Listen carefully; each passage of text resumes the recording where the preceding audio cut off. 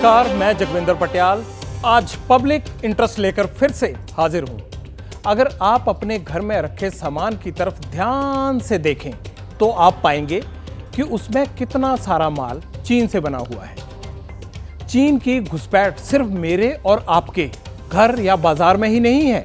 अब कई मजबूर देश हैं, जो बेचारे छोटे हैं, लाचार हैं, आर्थिक संकट है, वो सस्ते और लुभावने कर्ज के चक्कर में चीन के शिकंजे में फंसते जा रहे हैं। आज की हमारी सिग्नेचर स्टोरी में चीन के उस फैलते जाल पर या उसकी कहानी है जो भारत के पड़ोसी देशों में तेज़ी से फैल रहा है।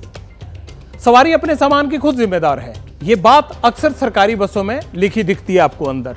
क्या ये सिस्टम दवा पर भी लागू होगा जो दवाई हम खाते हैं, उसकी बात मैं कर रहा हूँ। अगर दवा खाने से कोई बीमार हो जाए, गोली का साइड इफ़ेक्ट हो जाए रिएक्शन हो जाए तो क्या दवा कंपनी की कोई ज़िम्मेदारी है? लोकसभा में आपकी सेहत से जुड़ा एक बिल आया है। इसको लेकर विपक्ष हंगामा कर रहा है। सरकार से सवाल पूछ रहा है, आज एक्सक्लूसिव स्टोरी में जनता से जुड़े बिल का पूरा ब्यौरा देंगे ताकि दूध का दूध, पानी का पानी हो सके। बिहार में मंत्री और अफसर का झगड़ा नेक्स्ट लेवल पर पहुँच गया है। मंत्री जी तीन हफ़्ते से छुट्टी पर हैं। अफसर एजुकेशन मिनिस्ट्री चला रहे हैं। सवाल बच्चों का है, उनके भविष्य का है। पब्लिक प्लेटफॉर्म पर। मंत्री अफसर की तू तू मैं वाला एपिसोड आप देखना मत भूलिएगा। आज पब्लिक इंटरेस्ट में आपके घर की गुड़िया और एटम बम बनाने वाले पापा की बात करेंगे। सिनेमा घरों में हॉलीवुड की दो फ़िल्में। बॉलीवुड की फ़िल्मों को कैसे टक्कर दे रही हैं, सोशल प्लेटफॉर्म में ये भी आपको दिखाने वाले हैं।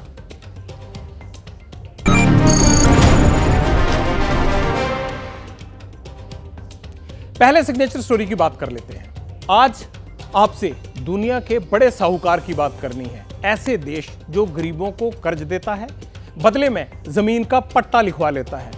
ब्याज पर ब्याज चढ़ता चला जाता है और वहाँ अपनी सेना को तैनात करने का वो इंतज़ाम कर लेता है। आप समझिए कि ये कैसे होगा। हम चीन की बात कर रहे हैं। दरअसल चीन अब हिंद महासागर की तरफ़ बढ़ रहा है। उसने भारत के पड़ोसी राज्य बिल्कुल पड़ोस में बसा हुआ है श्रीलंका। उसने पड़ोसी राज्यों की ज़मीन हड़पने का पूरा इंतज़ाम कर लिया है। वहाँ पोर्ट बना रहा है और अब अपनी नेवी को तैनात करना चाहता है वहाँ। सवाल देश की सिक्योरिटी से जुड़ा है। इसलिए पब्लिक इंटरेस्ट में लाल सल्तनत के कर्ज वाले ट्रैप का सच बताना है और ये हमारे लिए आपको बताना बहुत ज़रूरी है।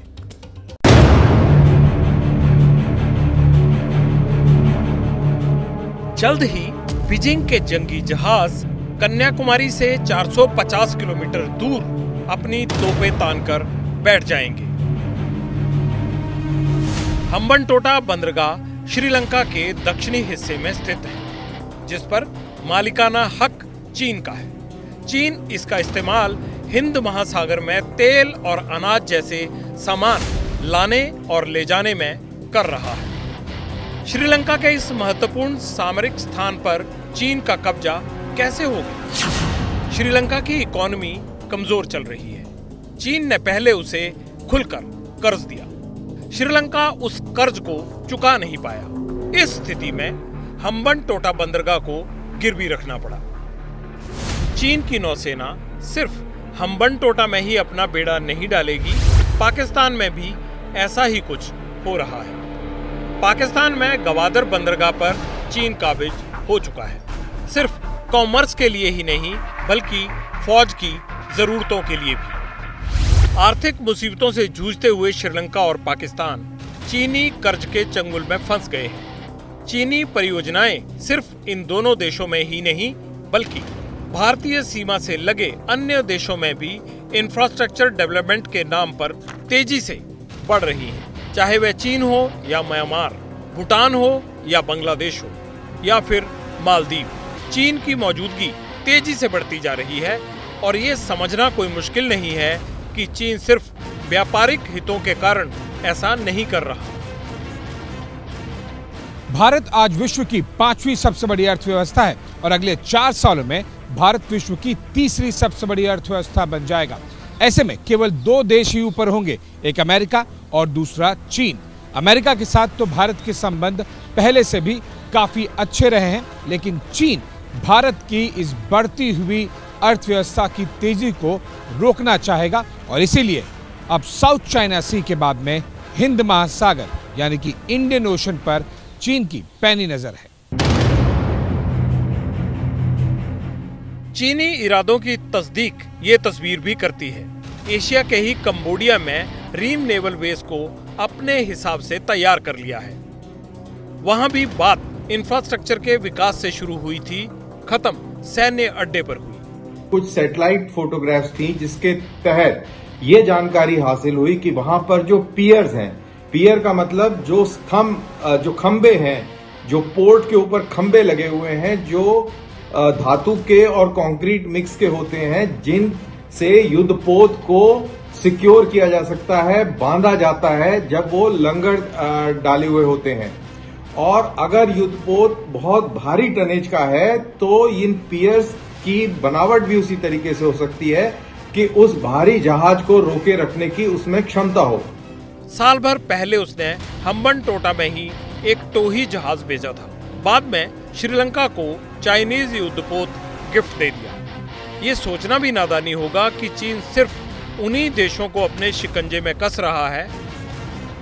ज़ाहिर है, हिंद महासागर के ज़रिए निशाने पर भारत भी है। अब सोचने वाली बात यह है कि चीन को इस इलाके में भारत को काउंटर करने की ज़रूरत क्यों पड़ी? क्यों चीन इधर बढ़ रहा है? और क्यों चाहता है कि इस तरह से हम्बन टोटा में उसका दखल होना चाहिए? हम्बन टोटा पोर्ट पर चाइनीज़ कब्जे की इनसाइड स्टोरी क्या है? ये समझने के लिए चीन के इकोनॉमिक इंटरेस्ट को हमें समझना होगा पहले। चीन अपने माल को इंपोर्ट एक्सपोर्ट करने के लिए मलक्का स्ट्रेट का इस्तेमाल करता है। उसका 80 फ़ीसदी तेल इसी समुद्री रास्ते से पहुँचता है। मलक्का स्ट्रेट सिंगापुर, मलेशिया और इंडोनेशिया के बीच में पड़ता है। दुनिया के करीब अस्सी हज़ार जहाज़ इस रूट से गुजरते हैं और ये हिंद महासागर को दक्षिण चीन सागर से भी जोड़ता है।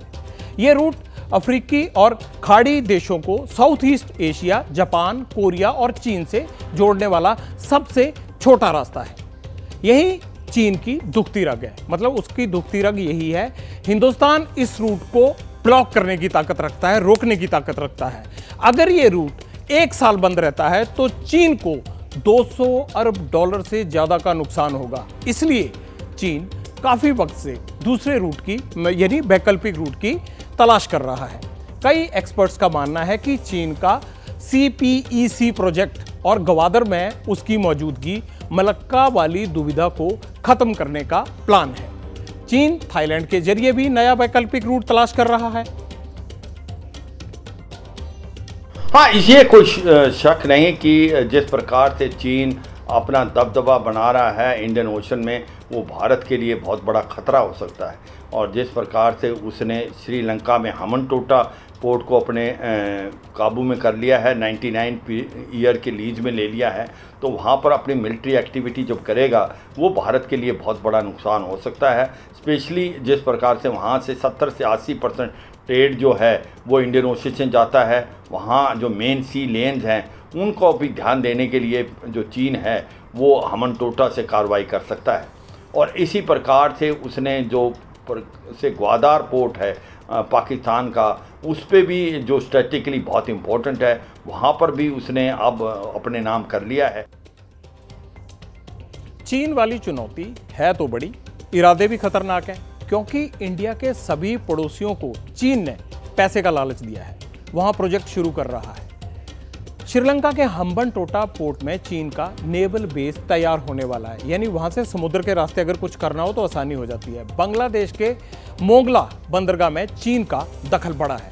पोर्ट को मॉडर्न करने के नाम पर वो बांग्लादेश को पैसे दे रहा है। लो जितने पैसे लेने हैं और डेवलपमेंट करो, लेकिन मकसद कुछ और है। चीन, म्यांमार में कोको द्वीप पर नेवी बेस बनाने की तैयारी में जुटा है, ताकि वहाँ से भी उसका सी रूट के ज़रिए एक्सेस हो जाए बाकी देशों में। भूटान में गाँव बसाकर, वहाँ ज़मीन पर गाँव बसाकर कब्जा करने का इरादा है, इसलिए वहाँ पर ज़्यादा से ज़्यादा इंफ्रास्ट्रक्चर का निर्माण कर रहा है, ताकि ढांचा होगा तभी तो कुछ कर पाएगा। बीआरआई यानी बेल्ट रोड इनिशिएटिव इस बहाने से नेपाल के नज़दीक आ रहा है। चार लेन वाली सड़क, यानी फोर लेन जैसे बनती है ना, को लेकर रेल प्रोजेक्ट तक की फंडिंग कोई देश कहता है, गरीब देश की जी, रेल नहीं है हमारे यहाँ, हम देते हैं पैसा, आप लगाओ। और बाद में अपना एजेंडा उसके आगे रख देता है चीन।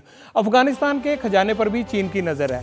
ऑयल डील के बहाने, तेल की जो सौदे हैं, उसके बहाने वहाँ पे भी ज़मीन हथियाने की कोशिश कर रहा है। पाकिस्तान के ग्वादर पोर्ट पर भी चीन का कब्जा हो चुका है। ये ग्वादर पोर्ट वो है जो भारत के ऐसे ऐसे नीचे, चीन इधर से आएगा शंघाई साइड से, और इधर से होके चला जाएगा तो पूरा रूट बना रहा है। मालदीव को भी कर्ज देकर हिंद महासागर वाले रूट को मज़बूत करना चाहता है।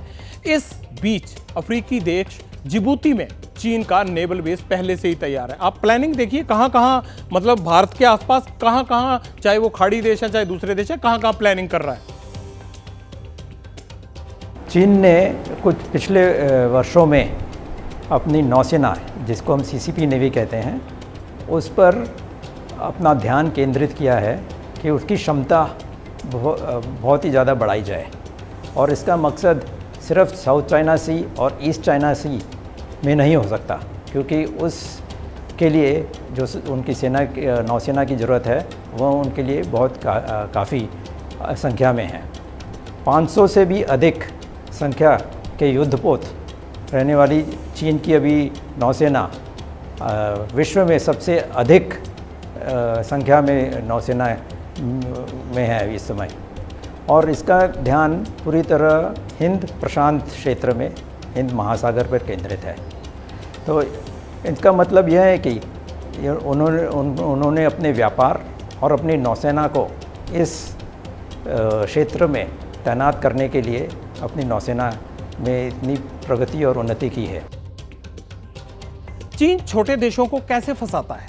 कैसे उनको गांठता है? कैसे उनकी मजबूरियों का फ़ायदा उठाता है? इसका ज़िक्र भी एड डेटा की रिपोर्ट में साफ़ तौर पे किया गया है। पता चला है कि चीन ने 46 देशों में से छिहत्तर पोर्ट्स पर 30 बिलियन डॉलर खर्च किए अब ना ये ग्राफिक की नज़र से समझ लीजिए 46 देशों के छिहत्तर पोर्ट्स पर 30 अरब डॉलर खर्च किए हैं। इन्वेस्टमेंट देखिए कितनी हावी है। अब दूसरा ये 21 साल में 123 सी पोर्ट प्रोजेक्ट्स पर पैसा लगाया है। यानी आप काम शुरू करो, पैसा भाई साहब हमसे लो। आठ देशों के बंदरगाहों पर चीन की नज़र है, जो सारे भारत और इसके आसपास, यूरोप और इसके आसपास है। Equatorial Guinea, Cameroon, Mozambique Vanuatu और मॉरिशियाना, ये वो देश हैं जहाँ पर ये अपनी घुसपैठ करना चाहता है ताकि इन सब अफ्रीकी और खाड़ी देशों के ज़रिए वो वहाँ तक पहुँच सके, जहाँ तक चाहता है। 100 मिलियन डॉलर से लेकर एक बिलियन डॉलर तक खर्च करता है यहाँ पे, देखिए। और इसका ना दो दो इरादे रहते हैं। एक, कि किसी तरह मेरी आर्थिक स्थिति बनी रहे और दूसरा, मेरा जो सैन्य निशाना है, वो भी कायम रहे। सवाल ये है कि अगर चीन इस तरह आगे बढ़ रहा है, हिंद महासागर में इंडिया के खिलाफ चक्रभूत तैयार कर रहा है तो फिर हमारे देश का जवाब क्या होना चाहिए? क्या होगा? हिंदुस्तान की भी तैयारी है कोई? ये सवाल हमने vice admiral S N Ghormade साहब से पूछा, क्योंकि वो इसके मास्टर हैं तो वो सुनिए क्या बता रहे हैं। भारतीय नौसेना ने अपना मैरिटाइम कैपेबिलिटी पर्सपेक्टिव प्लान बनाया है। इसमें चीन की जो सेना, नौसेना की बढ़ोतरी हुई है उस पर हमने ध्यान केंद्रित करके हमारा मैरिटाइम कैपेबिलिटी पर्सपेक्टिव प्लान बनाया है।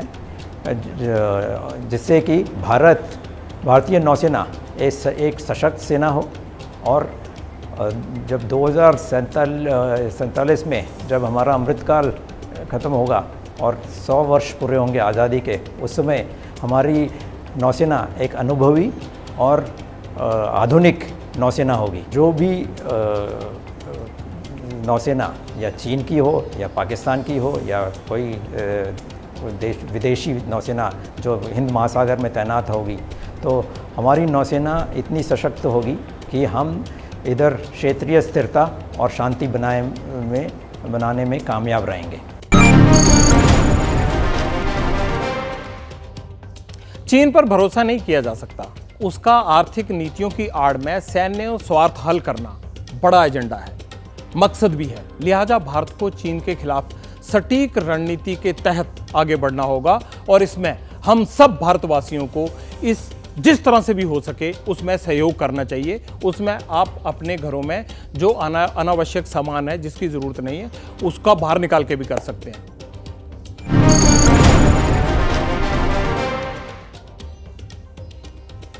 अच्छा हर घर में फ़र्स्ट एड बॉक्स तो रहता ही है। आपके घर में भी होगा, मेरे घर में भी है। अगर किसी के पेट में दर्द हो जाए, सिर में दर्द हो जाए, उठाइए गोली खा लेते हैं डिस्प्रिन खा ली, ये वो खा ली। जब छोटा मोटा कोई भी मर्ज होता है, हम उसका घर में ही इलाज कर लेते हैं। लेकिन आपने कभी सोचा है कि अगर दवा का साइड इफ़ेक्ट हो जाए तो ज़िम्मेदारी किसकी होगी? अगर आप सोच रहे होंगे कि मैं ये क्या मुद्दा डिस्कस करने बैठ गया, क्योंकि मुद्दा पब्लिक इंटरेस्ट का है, जो सामान्य तौर पर हर घर में होता है, और आप, जो सवाल है, वो आपकी सेहत से जुड़ा है। इसलिए ये बात कर रहा हूँ मैं। असल में हुआ क्या है? केंद्र सरकार लोकसभा में जन विश्वास बिल लेकर आई है, जिस पर विपक्ष को कड़ा एतराज़ है। बिल पर कांग्रेस ऐसा कह रही है कि नकली दवा अगर आप खाओगे और उससे आपको दिक्कत हो जाएगी तो उसके जिम्मेदार भी आप होंगे। ये कांग्रेस का इल्ज़ाम है। कांग्रेस ऐसा क्यों बोल रही है? बवाल क्यों हो रहा है? और सच क्या है? ये आप भी ज़रूर जानना चाहते होंगे। आज एक्सक्लूसिव स्टोरी में हम यही बता रहे हैं कि बवाल और बिल की पूरी एबीसीडी है क्या? सदस्य इसके पक्ष में है वो हाँ कहे। तीन दिन पहले तारीख 27 जुलाई दिन गुरुवार का लोकसभा में जन विश्वास बिल पास हो गया। सरकार ने दलील दी पूरी सूझबूझ और जनता के हितों को ध्यान में रखकर बिल लाया गया है। प्रधानमंत्री नरेंद्र मोदी जी विश्वास करते हैं 140 करोड़ लोगों की सूझबूझ पर कि वो अच्छा काम करेंगे। और अगर भूल चूक में गलती हो गई तो सुधार का एक मौका चाह। ये सिलसिला इस जन विश्वास कानून के तहत करने का एक प्रयास शुरू किया गया। जन विश्वास बिल आया तो बखेड़ा भी लाया। कांग्रेस ने बिल और सरकार की नीयत पर सवाल खड़े कर दिए। सवाल क्यों खड़े हुए? और आम लोगों को बिल से क्या दिक्कत आएगी? कांग्रेसी खेमा ये समझा रहा है।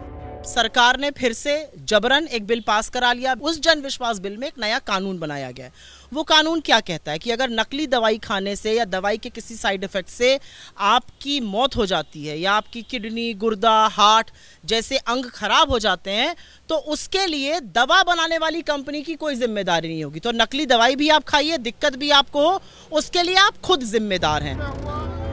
जन विश्वास बिल पर विपक्ष को क्यों विश्वास नहीं है?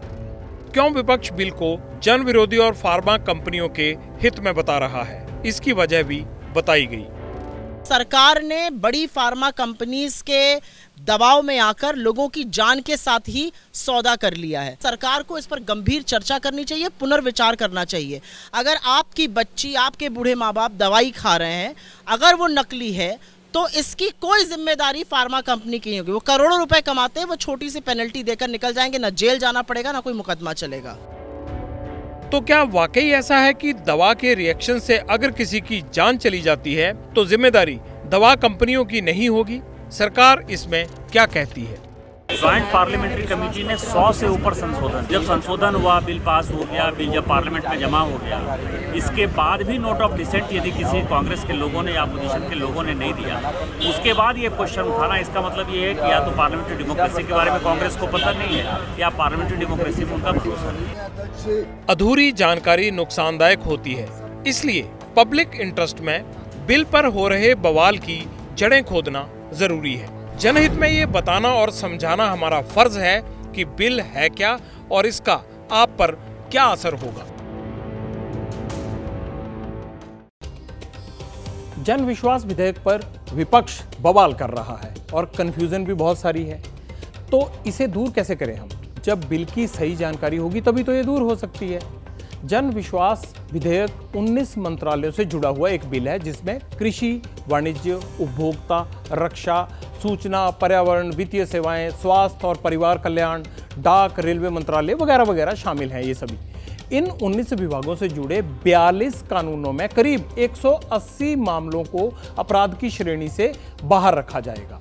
छोटे व्यापारियों को बढ़ावा देने की कोशिश होगी। कोर्ट कचहरी के झंझट से उनको छुटकारा मिल जाए, परेशान ना रहे, ये फ़ायदा होगा। बिल का फ़ायदा आम आदमी को क्या होगा? ये तो चलिए व्यापारियों की बात होगी, आप सोचेंगे। ये मुद्दा लेकर हम भी एक्सपर्ट्स के पास पहुँच गए डिस्कस करने, क्योंकि हर चीज़ के हम भी एक्सपर्ट नहीं है। हमें लगा चलो एक्सपर्ट से पूछते हैं, भाई, ये व्यापारियों की बात है तो सरकार जो कर रही है, इससे आम आदमी को क्या फ़ायदा होगा? सुनिए उनको भी। ये जन विश्वास बिल नहीं है, ये जन विरोधी बिल है। इस बिल के लागू होने के बाद जो छोटी छोटी कंपनियाँ कहीं भी बैठ के, एक कमरे के अंदर बैठ के दवाइयाँ बना रही हैं और कहीं भी वो दवा बन रही है, कहीं से भी आ रही है, कहीं पे भी उसकी टेस्टिंग नहीं हो रही है और वो उनको एक बहुत बड़ा बढ़ावा मिलता है। सरकार ने बड़ी कंपनियों के साथ हाथ से हाथ मिला लिया है, कहीं ना कहीं अपना फ़ायदा देख लिया है। दुविधा दूर होनी चाहिए। बिल में ऐसा कुछ नहीं जिससे दवा कंपनियों की जवाबदेही कम हो जाए। हाँ छोटे कारोबारियों को थोड़ी रियायत ज़रूर है। पहले जिन छोटे अपराधों में सजा और जुर्माने दोनों का प्रावधान था, अब उन्हें जुर्माने तक सीमित कर दिया गया यानी सजा का उसमें से काट दिया गया है। छोटे अपराधों में पहले सीधे जेल जाना पड़ता था, छोटा सा क्राइम किया, चलो अंदर। लेकिन अब बिना जाँच के ऐसा नहीं होगा, पहले उसकी जाँच पड़ताल होगी, फिर जिसको अंदर जाना है वो अंदर जाएगा, जिसको फाइन लगना है वो फाइन देगा। नकली दवा पर नियम में कोई बदलाव नहीं है, ये बड़ा मुद्दा था, नकली दवाओं पर, उसमें कोई बदलाव नहीं है। छोटे और मझोले कारोबारियों को राहत देने की तैयारी है। इसमें भी कोई दो नहीं है। जिन अपराधों में तीन साल की सजा या पाँच हज़ार रुपए तक का जुर्माना लगता था, उनमें आठ लाख तक का जुर्माना वसूला जा सकता है। यानी अगर सजा कम होगी भाई, जुर्माना ज़्यादा देना पड़ सकता है आपको। इसी तरह बाकी अपराधों को लेकर भी लाखों रुपए के जुर्माने का प्रावधान किया गया है। तो अपनी जेब अगर कुछ गलत करोगे तो जेब पे वज़न आएगा ही आएगा। ये याद रखना।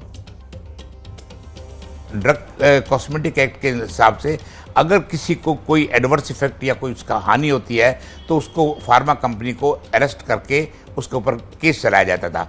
अब आपके इस प्रावधान से क्या होगा? ना तो उसको अरेस्ट करने की प्रावधान बचा है, उसको जो भी कंपनसेशन है, जो जो सरकार या जो फार्मा कंपनी कंपनसेशन करेगी तो उसको दे देगी। मुझे ऐसा लगता है कि इंसान की ज़िंदगी इतनी सस्ती हो गई है कि आप उनको उनको गिनी पिक की तरह यूज़ करना चाहते हो अब आप बताइए, बिल आपको बेहतरी में लगा या नहीं लगा? इसमें कोई खाम खा बवाल किया जा रहा है या ये वाकई जो कुछ किया गया जायज़ है? मसला पब्लिक इंटरेस्ट का है, इसलिए तथ्य और सत्य से परे नहीं जाना चाहिए।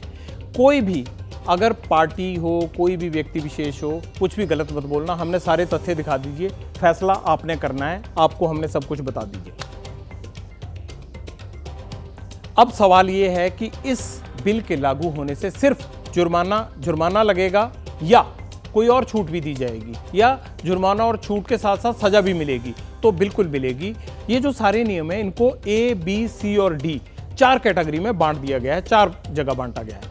नकली दवा से अगर किसी की मौत हो गई तो इस अपराध को ए कैटेगरी में रखा गया है। यानी कोई रियायत नहीं होगी, इसमें उम्र कैद भी हो सकती है और जुर्माना भी लग सकता है।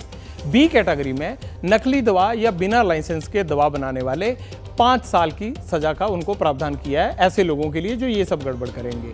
नकली दवा से ज़्यादा नुकसान होता है तो ऐसे अपराधों को सी कैटेगरी में रखा गया है थर्ड कैटेगरी में रखा है, जिसमें सात साल की सजा, सात साल और जुर्माना दोनों हो सकते हैं।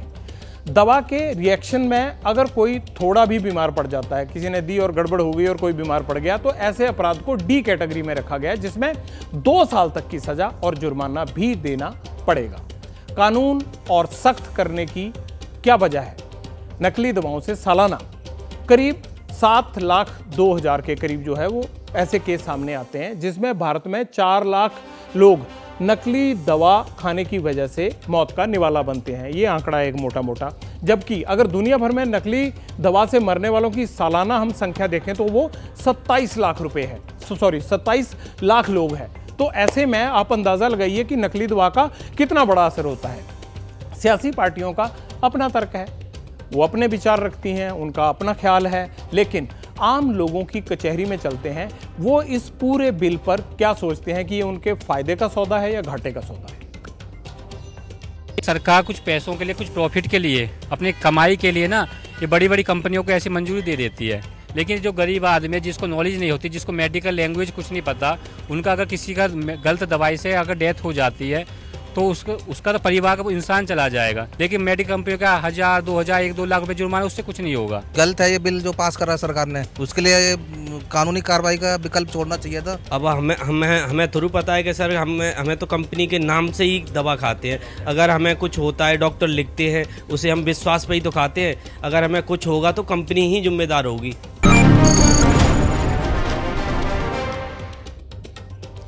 सबका अपना मुँह है, सबके अपने बोल हैं। हर आदमी अपने हिसाब से सोच रहा है कि मुझे इसका फ़ायदा होगा, मुझे इसका नुकसान होगा। ज़्यादातर ये बोलने वाले आ जाते हैं कि नुकसान ज़्यादा है भैया, फ़ायदा कम है। लेकिन हम ये आपको कहते हैं कि पहले पूरा बिल ध्यान से पढ़िए, जो हमने समझाया उसको समझिए, फिर अपने बिज़नेस का, अपने घर का और तमाम चीज़ों का असेसमेंट कीजिए।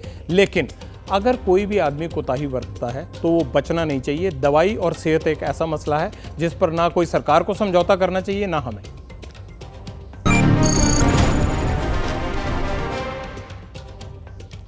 कोई बच्चा अगर बिना जानकारी दिए तेईस दिन स्कूल से गैर हाजिर रहे तो उसका दाखिला रद्द होगा या नहीं होगा, आप बताइए मुझे।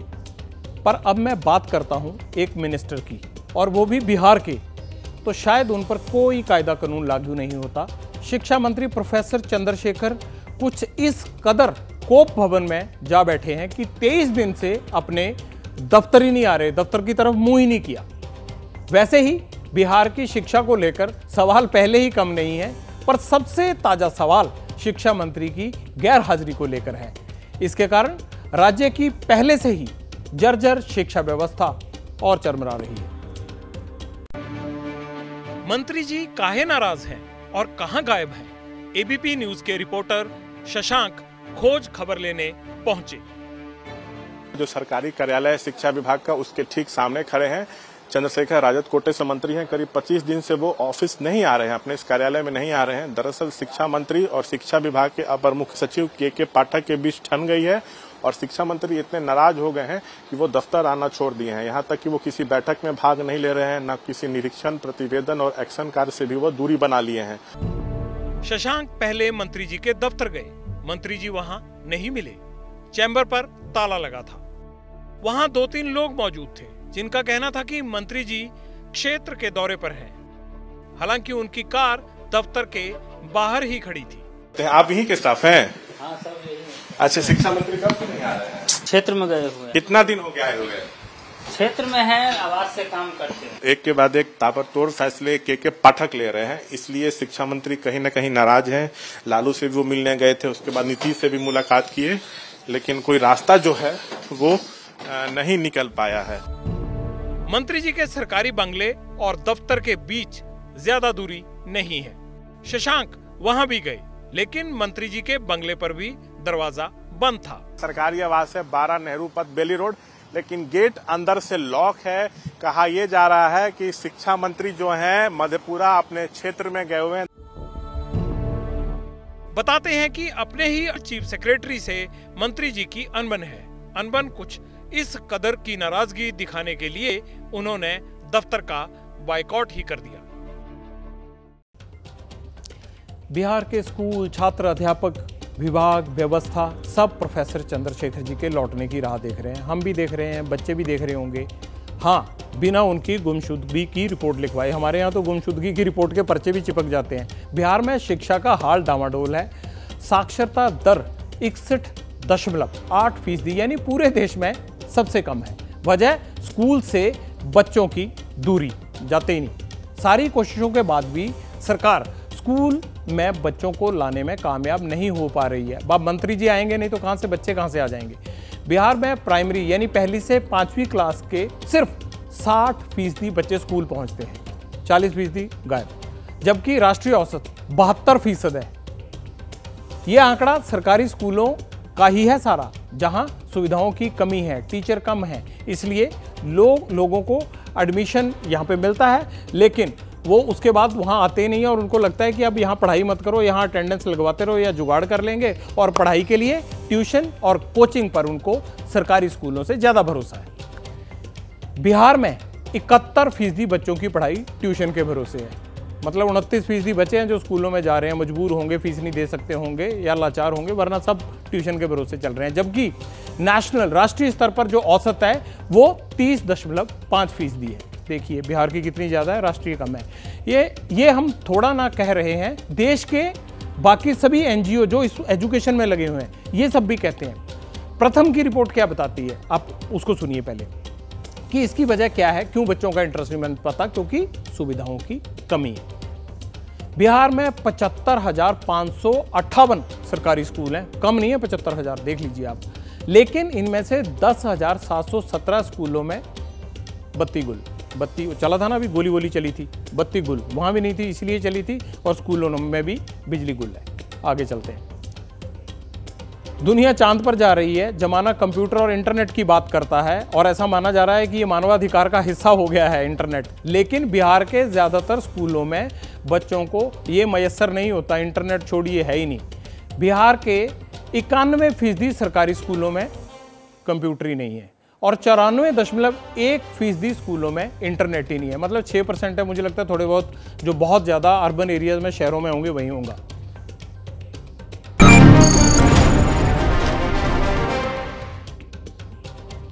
अच्छा होता, मंत्री जी, बिहार के शिक्षा का हाल सुधारते, ऐसे गायब होने की बजाय। मतलब उसमें जो रोड़े अटका रहा है, उसके खिलाफ एक्शन लेते अगर कोई उनकी सोच से परे काम कर रहा है, उसके खिलाफ कार्रवाई करते लेकिन वो तो ऐसे नाराज़ हुए कि दफ्तर ही नहीं आ रहे। कर्मचारी ऐसा करता तो शायद उसकी मतलब छुट्टी हो जाती, उसकी सैलरी काट लेते।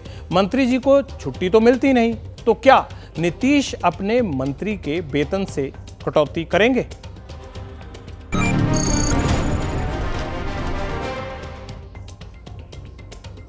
जो मुद्दे पब्लिक इंटरेस्ट से जुड़े होते हैं, वैसे तो मैं हमेशा उन्हीं को उठाता हूँ। सब चीज़ों से हट के सीधी पब्लिक की बात होगी क्योंकि ये आपका टाइम है। लेकिन मैं एक बात और याद रखता हूँ, जो मुद्दा मैंने उठाया है, उसे भूलने नहीं दूँगा।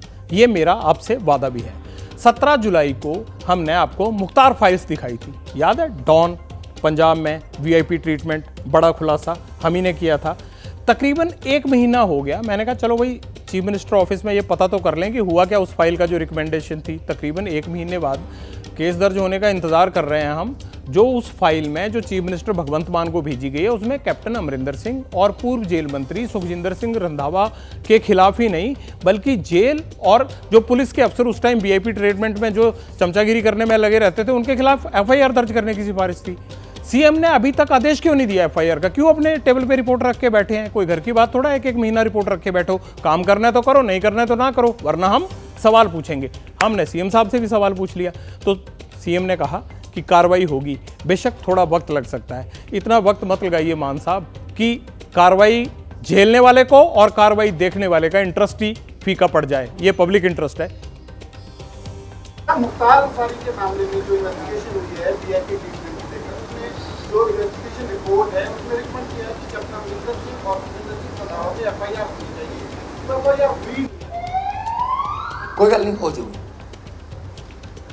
ਹੋ ਜੂਗੀ ਵੇਟ ਕਰ ਲਓ ਥੋੜਾ ਜਿਹਾ ਜਿਹੜੀਆਂ ਹਜੇ ਤੇ ਹੋਈਆਂ ਨੇ ਪਹਿਲਾਂ ਉਹਨਾਂ ਦੀ ਰਿਪੋਰਟ ਦੇ ਦਿਓ ਸਾਰੀ ਸਾਰਿਆਂ ਦਾ ਹੋਊਗਾ ਸਾਹਿਬ ਜੀ ਮੈਂ ਕਹੀ ਜਾਂਦਾ ਕਿ ਹਿਸਾਬ ਸਾਰਿਆਂ ਦਾ ਹੋਊਗਾ ਜਿਨੇ ਵੀ 1 ਰੁਪਈਆ ਵੀ ਖਜ਼ਾਨੇ ਦੇ ਵਿੱਚੋਂ ਪੰਜਾਬ ਦੇ ਖਜ਼ਾਨੇ ਚੋਂ ਆਪਣੇ ਨਿੱਜੀ ਮਫਾਦਾਂ ਲਈ ਜਾਂ ਆਪਣੇ ਮਿੱਤਰਾਂ ਲਈ ਆਪਦੇ ਦੋਸਤਾਂ ਲਈ ਜਾਂ ਆਪਣੇ ਚਮਚਿਆਂ ਲਈ ਵਰਤਿਆ ਪੰਜਾਬ ਦੇ ਲੋਕਾਂ ਦੀ ਮਿਹਨਤ ਦੀ ਕਮਾਈ ਖੂਨ ਪਸੀਨੇ ਦੀ ਕਮਾਈ ਹਰੇਕ ਦਾ ਹਿਸਾਬ ਹੋਊਗਾ ਕਿਸੇ ਤੇ ਅੱਜ ਹੋ ਜੂ ਕਿਸੇ ਤੇ ਕੱਲ ਹੋ ਜੂ ਪਰ ਹੋਊਗਾ ਜ਼ਰੂਰ ਜੀ ਇਸ ਮਾਮਲੇ 'ਚ ਕੋਈ